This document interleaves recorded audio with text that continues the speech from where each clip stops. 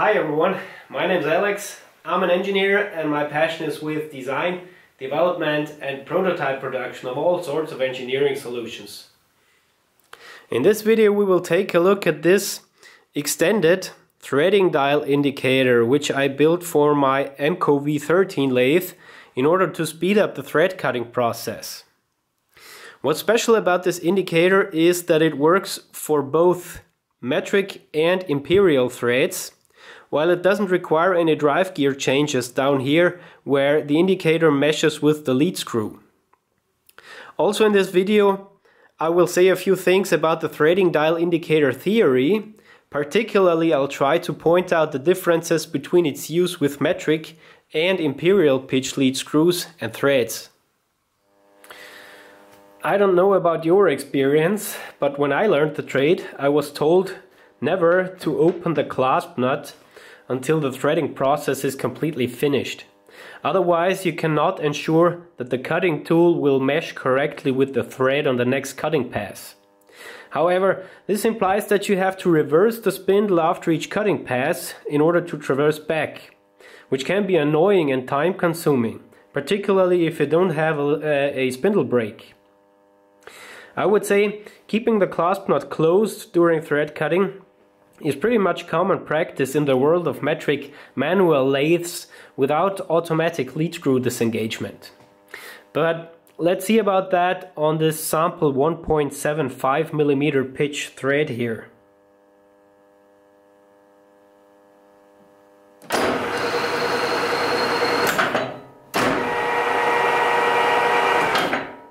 That was the first pass and for the second pass, I traverse back with the clasp nut closed, which is standard practice. And for the second pass, I don't feed the tool deeper so that we can check the meshing better. And as to expect, tool and threads mesh perfectly.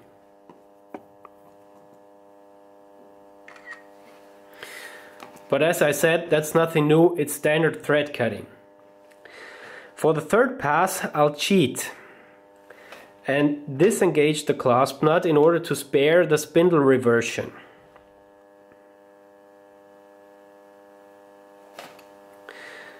And let's see what happens.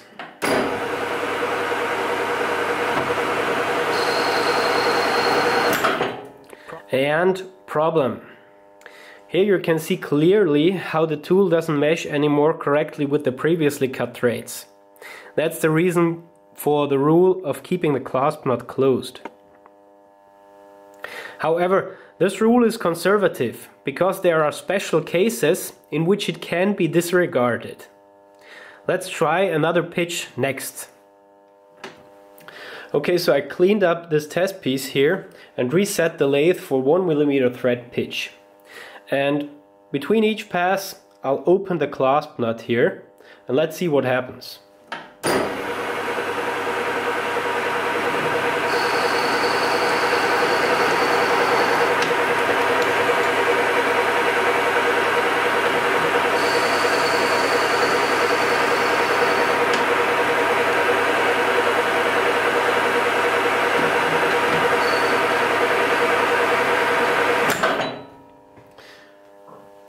Obviously, in this case it doesn't matter if I broke the rule to spare spindle reversion. And this is so because here we have a special case in which the lead screw pitch is a multiple of the thread pitch. Now, as you probably expect, this is also true for a number of other thread pitches. With this 6mm pitch lead screw on my lathe here, the same is true for 0.75, 1.5, 2 and 3 thread 3 millimeter thread pitches and a few others. But more about this in a minute. Next let's take a look at the theory behind this.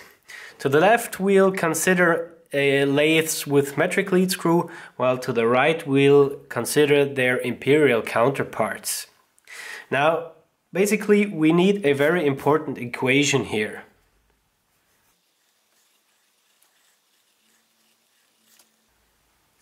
And in this equation, NSP and NLS are spindle and lead screw, lead screw revolution numbers respectively, while PTH and PLS are thread pitch and lead screw pitch respectively, metric pitches that is. Now, this formula describes that the motions of the tool and the threading point on the workpiece must be equal. The right hand side describes the motion of the tool, which is moved by the lead screw. If, for example, the lead screw makes one turn, then NLS equals 1, then the tool moves by 1 times the lead screw pitch. The left hand side describes the workpiece's threading point motion. If, for example, the spindle makes one turn and NSP equals 1, then the threading point moves by 1 times the thread pitch. In simple terms, if this condition, this equals this, is fulfilled, tool and thread mesh perfectly. If we disengage the clasp nut and re-engage it when this equation is fulfilled again, we will encounter no problems, meshing wise. So what the threading dial indicator does is to indicate when this equation is fulfilled. Let me rearrange it so it is more simple to use and for this I will divide, divide by PTH to bring it to the right.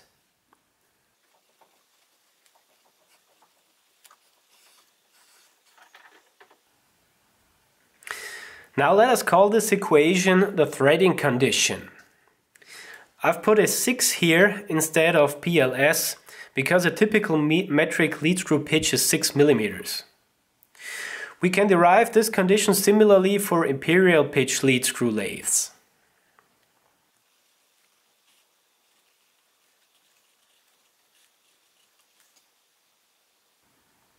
The only difference is that in the imperial world, thread pitch is defined as the thread lead count per inch, which we term ZTH and ZLS respectively.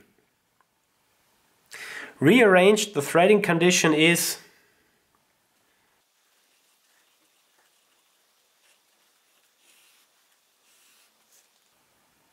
And similarly as before, I've put a 4 here instead of ZLS because a typical imperial lead screw pitch is 4 TPI. But how does this help us with thread cutting? First, let me use the threading condition to prove to you why we can open the clasp nut for a few particular thread pitches, like I've shown in the video's intro, for 1mm pitch I think. Naturally, we can disengage from the clasp nut at any situation. On the other hand, we cannot re-engage at any situation. The lead screw must turn one or a few complete revolutions until the clasp nut can be re-engaged again. This means NLS must be an integer number. Things are similar for NSP, the number of spindle revolutions. Basically, we don't care how many turns the spindle made until we re-engage the clasp nut. What we care about is that the tool starts at the same threading point on the workpiece. In mathematical terms, this means NSP must be an integer number too. Let's check our case from before, where PTH was 1 millimeter. So we have 6 for this fraction and see that we get an integer spindle revolution number for any integer lead screw revolution number. In the other example I showed, where we encountered a meshing problem, PTH was 1.75 millimeters. In this case, our fraction equals 4.8. Consequently, NLS must be, for example, 5 to allow for an integer spindle revolution number, uh, 24 in this case. The same applies for the imperial lead screw. NSP and NLS must be integer numbers. I've prepared a table for standardized thread pitches and their respective lowest lead screw revolution number NLS, which allows for an integer spindle revolution number NSP. In this table I've highlighted all the special cases with green color, that is, cases in which disengaging and re-engaging of the clasp nut doesn't produce problems, meshing wise. But keep in mind that these numbers apply to lead screws with 6 mm here or 4 TPI pitch here. Um, if your lead screw pitch differs from this, just use the respective threading condition and recompute the numbers. But what about the unhighlighted thread pitches here in the tables? Well, the number NLS shows us that if we disengage the clasp nut, we must wait for, for example, here, 7 lead screw leads to pass until we may re-engage without meshing problem. Here we have 2s, 7s, 5s and a few other numbers. These two here are in braces because they are quite rare pitches. In the imperial world, on the other hand, these numbers are more systematic. We see twos, fours, and a few eights. And these numbers are basis for design of threading dial indicators. What these indicators do is to show us when a certain number of lead screw leads have passed, to show us when to re-engage the clasp nut, or in other words, when the threading condition is fulfilled. The more systematic numbers in the imperial world explain why threading dial indicators are more common here than in the metric world. This is because indication of 2, 4 and or 8 sequential passing leads requires only one dial indicator gear to mesh with the lead screw. And this gear usually has 16 or 24 teeth, a multiple of 8. 8 tooth gears typically aren't used since they may have undercut teeth. In the metric world, on the other hand, it is a little more complicated. You see, to indicate 5 or 7 passing leads, we could use a 35 tooth indicator gear to mesh with the lead screw. Um, however, this way we could not indicate the twos. For this we would need an even tooth count indicator gear. We could use for example a 70 tooth gear to mesh with the lead screw, but this would be awfully large. So usually change gears are used, which however take some elegance out of the threading dial indicator and make the thing a little annoying. Changing gears is annoying enough on the lathe, isn't it? For my Emco V13 lathe, this here 1989 accessory catalog lists a threading dial indicator. Look at how classy those guys were in the show workshops back in my childhood.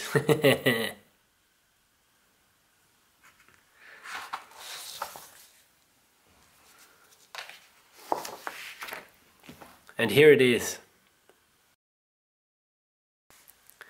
I assume this picture here shows the threading dial indicator for the Imperial 4 TPI lead screw version of the lathe. We see a presumably 16 tooth gear and the 8 index dial, which we discussed before. I don't have a picture of this lathe's original metric threading dial, but my friend Roll told me that he hated the V13's metric thread threading dial, because changing gears on this indicator was awkward and it was easy to mess something up. Well, the problem here with these numbers can be puzzling because I wanted a threading dial indicator without change gears. But sooner or later I had the idea not to use several gears to mesh with the lead screw, but rather several indexing dials. From the table we know that we should at least be able to indicate 2, 5 and 7 respectively sequential passing lead screw leads. And this is possible with these upper two indexing dials here. The uppermost one is driven by the lead screw. Of course only if it is engaged with the lead screw, which it is now.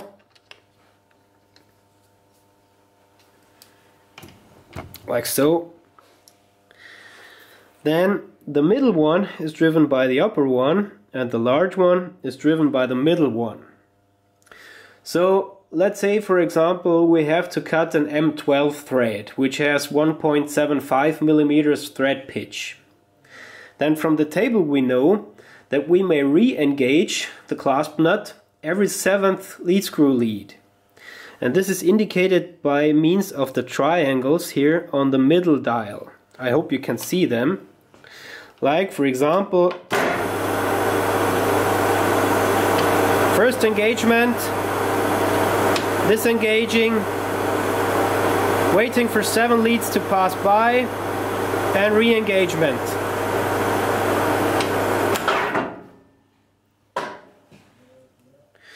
On the other hand, the uppermost dial allows us to index every lead by means of the dots, every second lead by means of the two dots, or every fifth lead by means of the squares. Alright guys, sorry about the dark image here, but I have to use a very small aperture to get some appreciable depth of field here. But I hope you can see the threading point and the index down here.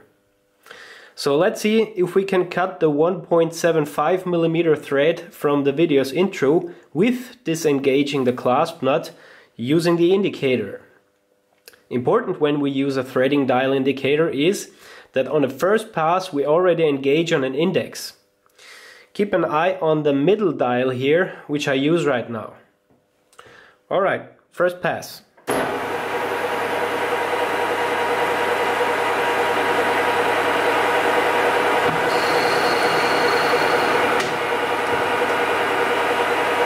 Second pass without feeding deeper.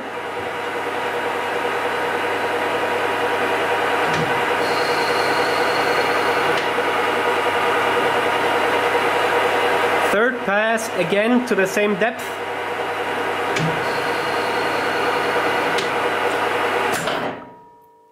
And you see, no problems meshing wise, everything's fine so far.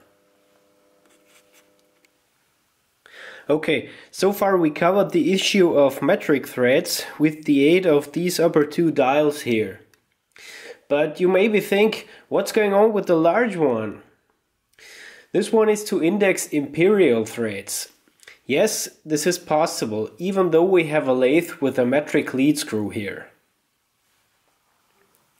But to explain this, we need the threading condition again. To the left, let's assume we are cutting imperial, imperial threads on our metric lathe. And on the right, let's assume we are cutting metric threads on an imperial lathe.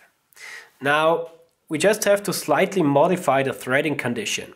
That is, here we have to replace PTH with ZTH and 25.4 millimeter. And here we have to replace ZTH with PTH and 25.4 millimeter.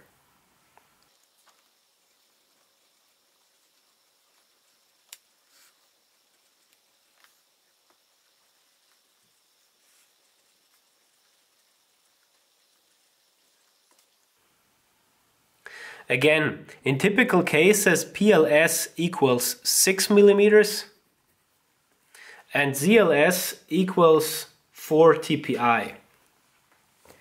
But now it becomes clear that finding an integer that finding integer number combinations for NSP and NLS which satisfy these equations is not so easy anymore. In both cases we must get rid of the 25.4 in the left case, this is accomplished if NLS is, for example, 254. Or if we, lose, if we use the lower prime number, 127. Then this cancels out to number 5. And if we simplify the equation, we get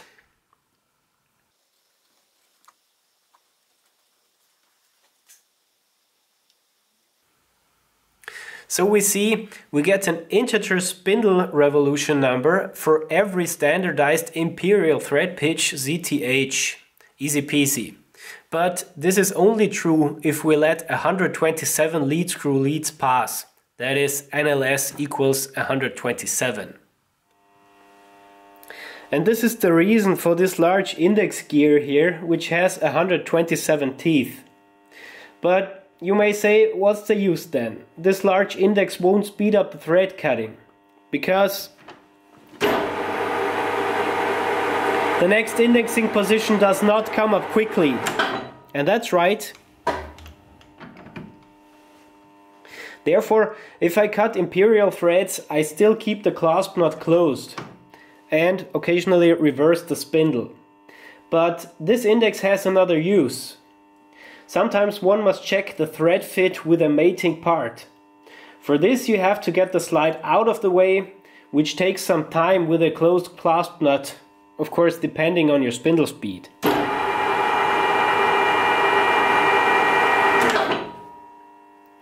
With this index, on the other hand, you can open the clasp nut, drive the slide out of the way quickly, check the thread fit, and then take the slide back. And its correct position is soundly found with the indicator, even if the spindle turned a bit while you check the thread fit. Like so, for example. And now, at long last, back to the case in which we cut metric threads on an imperial lathe. It is only possible to get rid of the 25.4 here in the numerator if we put 254 or as before 127 here. This means now the spindle revolution number is fixed, not as before the lead screw revolution number. So our equation simplifies to